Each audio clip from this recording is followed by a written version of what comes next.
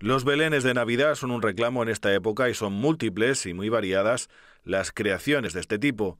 El Belén da sentido a la natividad y los diferentes belenes que recorren la ciudad de Alicante nos regalan felicidad y nos permiten disfrutar de cerca de cada una de sus escenas. El Belén social de la Plaza de la Montañeta lo ha montado la Asociación de Belenistas de Alicante, que preside Alejandro Cánovas.